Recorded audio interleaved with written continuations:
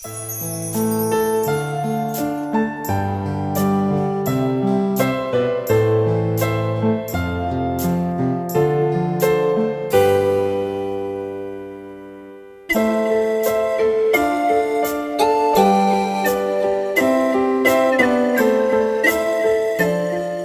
asmara dua mega bintang telenovela Meksiko, Fernando Colunga dengan Talia, tidak dapat dipungkiri selalu menarik perhatian publik pecinta telenovela, baik di Meksiko maupun mancanegara.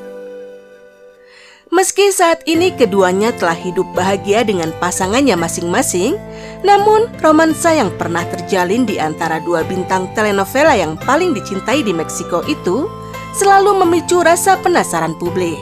Pasalnya, banyak misteri dan kisah yang tak terungkap yang mewarnai jalinan asmara Fernando Colunga dengan Talia.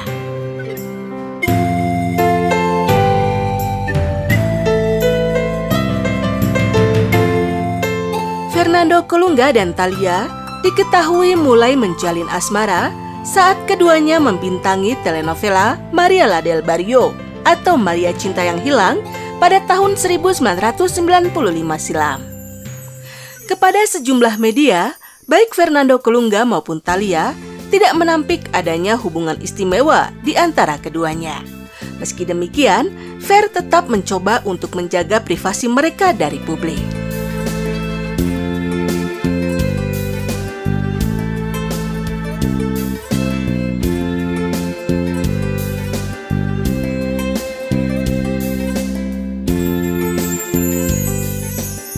Yo lo hemos mantenido así, a un lado siempre de, de, lo público. Yo te puedo decir ahorita que bueno, nos llevamos muy bien, que, que las cosas están bien. ¿Tú la quieres?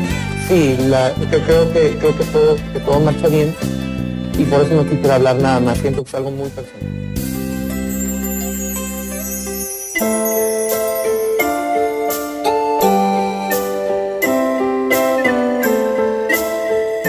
Sayangnya, hubungan asmara Talia dengan Fernando Colunga tidak berlangsung lama. Menurut gosip yang beredar, penyebab putusnya dua selebritis pujaan Meksiko itu dikarenakan ibunda Talia, mendiang Yolanda Miranda Manghe yang tidak merestui hubungan keduanya. Bahkan gosipnya, Yolanda Miranda jugalah yang kemudian memaksa Talia untuk menikah dengan jutawan asal Amerika, Tommy Motola.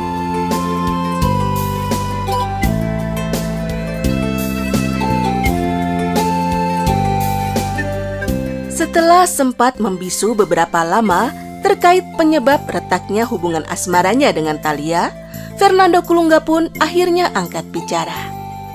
Meski tidak menyebut secara langsung, namun Fer membenarkan ada peran sang ibunda Talia yang membuat hubungannya dengan pemeran Maria Hernandez Rojas dalam telenovela Maria del Barrio itu kandas.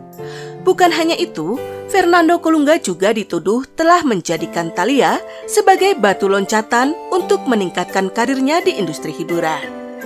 Pasalnya, saat itu Thalia sedang berada di puncak karirnya sebagai bintang telenovela, sedangkan Fer hanyalah seorang bintang pendatang baru. Karena itulah, Fer pun dituding dengan sengaja mendompleng kepopuleran Thalia sebagai ratu telenovela Meksiko dengan cara menjadikannya sebagai kekasih.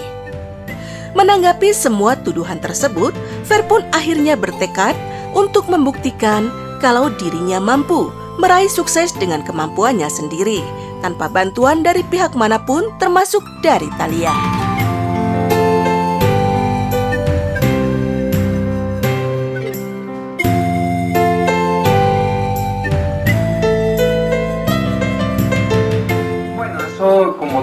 Muchas veces en la vida, lo quiera uno o no, son ciclos terminan.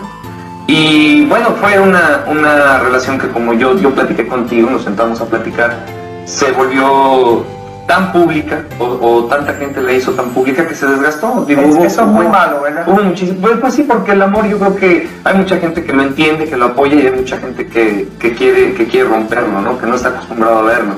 Entonces, bueno, fue una relación que se terminó, que se desgastó. ¿Siguen ustedes amigos? ¿Se ven? Hemos hablado, hemos hablado algunas veces. Te digo, esta relación se, se desgasta y lo que sucede es que te, te, produce, a mí me produjo un descontrol el saber, por ejemplo, que había mucha gente que decía que mi publicidad era base de ella. Yo me acuerdo. Yo decía, bueno, finalmente después de estar luchando en mi carrera, llegó a protagonizar una historia que es el tope a donde se puede llegar de una novela, no necesito una foto más en una revista, y menos una foto a costillas de una dama.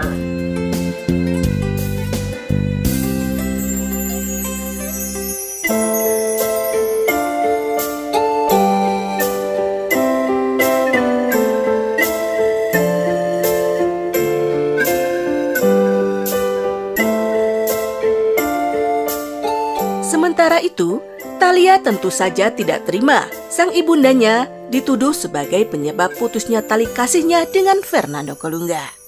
Menurut Talia, dirinya bukanlah seekor anjing yang hanya menuruti perintah ibunya begitu saja. Sebab ditegaskan Talia, dirinya adalah seorang perempuan yang mandiri yang mampu menentukan dan memutuskan masa depannya sendiri.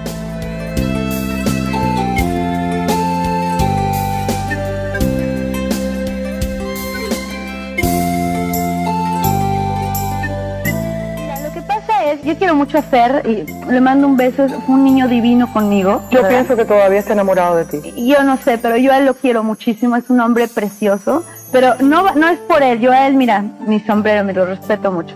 Pero oye, es que me haces ver como si yo tuviera una correa aquí, de que, mamá, lo que tú digas, lo que tú quieras, siéntate, sí mamá, párate, sí mamá. No, pues tampoco, yo soy una mujer independiente y, Y siempre, siempre lo sido. has sido.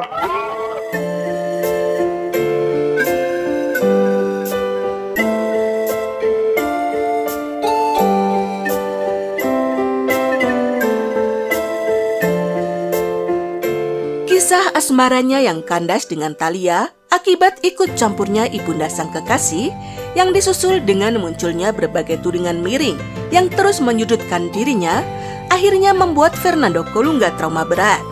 Sejak saat itu, Fer pun bertekad untuk selalu merahasiakan kehidupan pribadinya dari publik.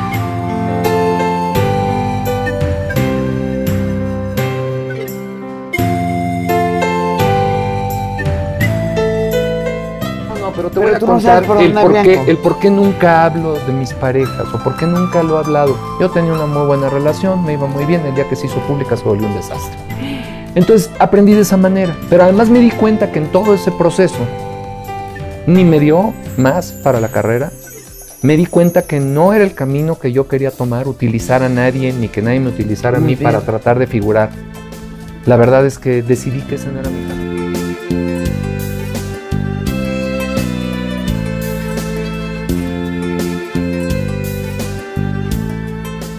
Lanjut, Fernando Colunga mengungkapkan, begitu traumanya ia akan kisah asmaranya dengan Talia yang menjadi santapan publik, sampai-sampai Fer pernah bertekad untuk memboikot wartawan karena tidak ingin lagi kehidupan pribadinya diusik. Pada awalnya, keputusannya tersebut ditertawakan oleh teman-temannya.